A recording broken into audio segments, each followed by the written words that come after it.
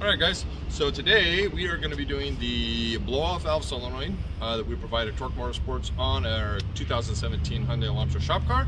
We have got all the tools laid out here. Take a look at the tools we've got. We've got uh, an aftermarket intake on the car, so it's going to be a, little bit difficult for us to like show you how to take the factory airbox, get it out of the way, but we will show you how to get the intake out of the way. And then over here, we got our hose, solenoid, and zip ties ready for the install. So I am going to have our camera gal get over here and take a look at what we're doing. She's going to take a peek down here. So first off, what we're going to do is we're going to pull the intake, get it out of the way. So 10 millimeter over here.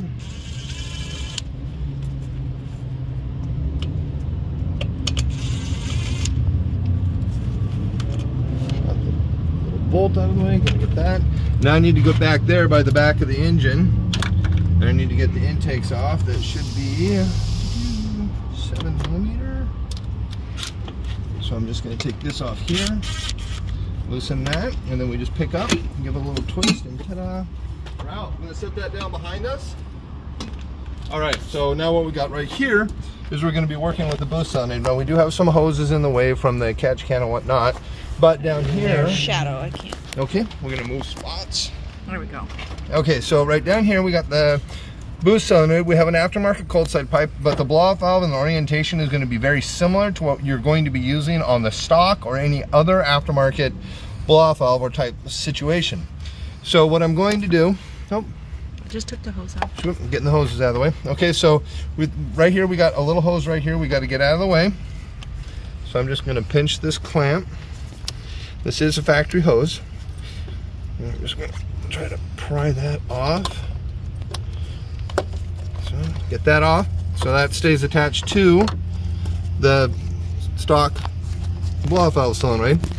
Now I'm gonna come down here and there's a bolt that hold, holds the solenoid to the engine cover. I have my finger on it right now. It's kind of hard to see. It's gonna be a 10 millimeter. We're gonna take that off.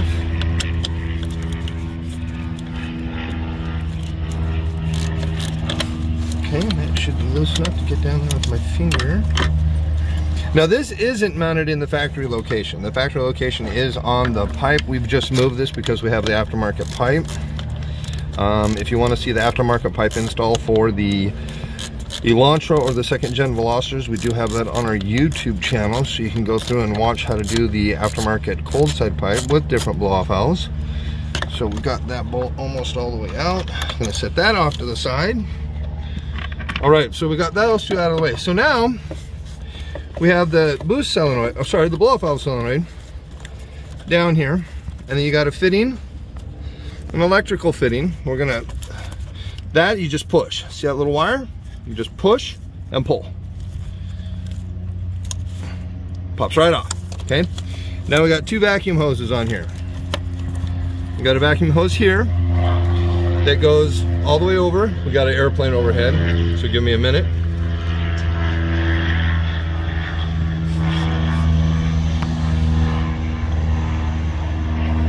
Okay, so we've got a vacuum hose here on the bottom. We got a truck driving by. Today's just noisy day.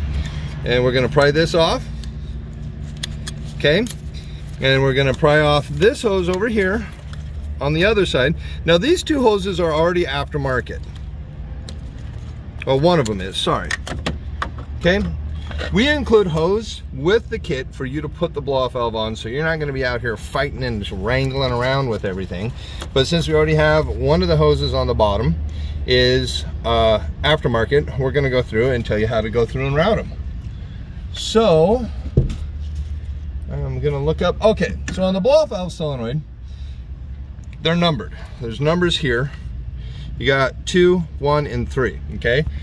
Port one goes to your intercooler, okay? Or in this case, it's gonna go to the cold side pipe fitting, which is right here. Again, the stock cold side, the stock pipe will have a fitting on it, just very similar to this, just down a little bit lower. And then position number two, sorry guys, I'm looking at this. Okay, number two, which is over here, goes to the actual blow off valve. So this fitting here will go directly down to the blow off valve. And that's gonna be the first one I hook up. And last, number three, which is this one here, goes to, pan out a little bit, goes to this hose, it goes to the front of the radiator and across to the vacuum chamber on the intake manifold. And that's hose position number three. Okay, so let's go through and get these hooked up, okay? Oil is your friend when you're trying to push these on. So I'm gonna put a little bit of oil on these two. Show them what you mean by oil. Oil, just a little bit of, just a spray oil. Okay, so, now who remembers what, what goes where? okay. Port one goes to the intercooler. Goes here. Goes right here, I'm gonna do that one for later. Port two is blow off valve. So I'm gonna set this up to go to the blow off valve, which goes over here. So I'm gonna push this on to the fitting and it's gonna be tight. That's why we put the oil on. And you wanna get that pushed up as many of the barbs as humanly possible. And I got oil on the outside and on my hand, making it that much more difficult to push it up the fitting. Okay, I'm two barbs up. Is going to be a taut fitting. Yes, it is going to be very tight. Almost to the third barb. All right, we're just past the third barb, so I'm going to take a zip tie. I'm going to take a zip tie, and you can see the barbs through the hose. So I'm going to take this zip tie, and I'm going to tighten this down on the barb. I cannot believe all the noise on the road today. Good God. We'll wait for the fire truck to pass now. Okay, so I'm gonna tighten this up. Now, you wanna, when you go through and tighten it up, you just don't wanna yank on it because you'll break the barb. So you wanna put your finger on the zip tie and pull on the zip tie. So kind of like this. Okay, got that tight. Let's trim that zip tie back. Okay, there's number one. Okay, This goes to blow off valve. yeah. That, we just went to the blow-off valve. Now number three is intake manifold, and number one is intercooler. So number three is this one here, that and this is, goes over to your manifold. This one here hopefully is a touch easier to just give the old one, two shove a do. Again, don't just mash it on, you'll break the fitting. Go through.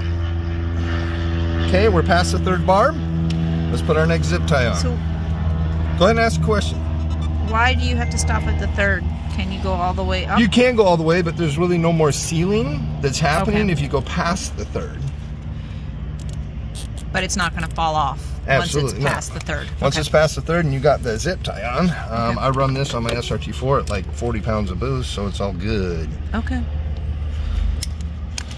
Okay, we got the second one. Okay, so now we're gonna wanna tie in to the last one, which goes right here, and you're gonna wanna push this down a little bit, get the the hoses out of the way, et cetera, et cetera. And you wanna find a good point to zip tie this, but I haven't attached the electrical yet. So let's go through and get the electrical connection hooked up.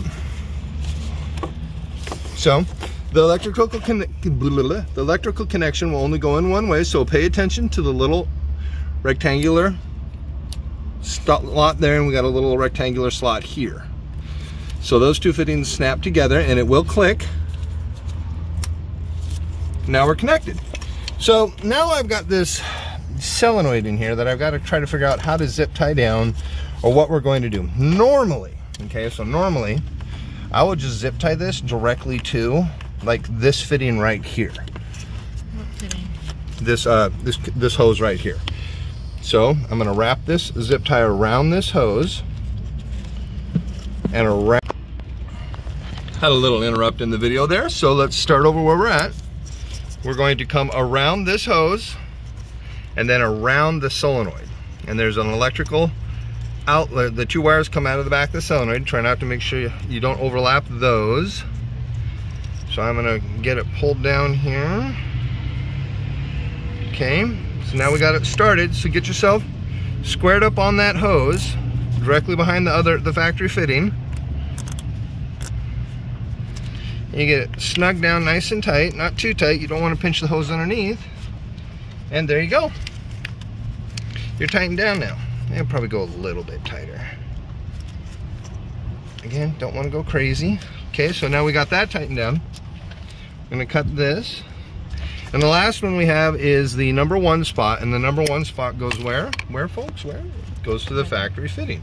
So we're gonna have to do a little loop-de-loop -loop with the hose that we provide with the kit. Cut the hose. Yep, we're not gonna leave it this long, obviously. Ta-da! We're gonna cut that down. So what I like to do is I like to push the hose onto the factory fitting, get that on there, rotate everything around where we need it, and this, kind of measure out what you're gonna need. It looks like that should work. Cut it. Okay, and we do provide additional hose here for different hookups. So if the blow-off valve's further away or something like that, you have the additional room to do what you need to do. Do they need to replace hoses though? Uh, it's a good idea to replace them. Uh, you got some miles on your OEM hoses. It's, you know, putting fresh hose on there is going to be a, a bonus. Okay, so now we're just going to loop this around. Gonna push this on now that I got oil all over my gloves and to the third barb. Yep, to the third barb.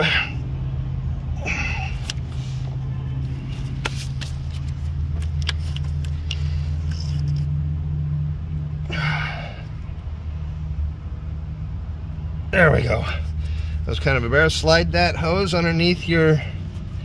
I wish it could be like that. Or you can slide it underneath. Underneath works too. Okay, so now we're going to put the zip tie on that last fitting on the blow-off valve. Make sure you're getting it on the barbs. Again, don't pull directly on the zip tie. No. it will break the fitting. Do they have to be zip tied? Yes. But I highly recommend you zip tie them because it just eliminates any leaks and any secondary problems that you may or may not have. And then here on the pipe, we are going to put a zip tie here on this fitting. And again, don't just pull on the fitting, you'll break the fitting. Put your finger on the zip tie, pull on the zip tie, cut the zip tie off. Okay, now we got everything cut. We got everything zip tied down and anchored. We got our electrical connector plugged in. And all we got to do is hook up the vacuum hose that we yanked off to get the install done. I'm actually going to go through and put a quick, yeah, I'm going to put a zip tie on that, but I'm not going to do that right now in the video. Okay, so now all we got to do is put the intake back on. You will have, since we didn't use both the, the bolt to put the OEM solenoid back in, you're going to have a leftover bolt. I'm not going to worry about that because we did zip tie the solenoid in its location. Okay, so with that being said, that is your basic Mac valve install for your, huh, pretty much every generation that has a blow-off valve. And I'm thinking Every blow-off valve for every 1.6 is set up in the same configuration, so you're going to be good doing every single install there. There you go, Mac valve install with directions, locations for the fittings, and everything laid out in a descriptive way so you guys know how to get it installed. Thanks a lot for watching.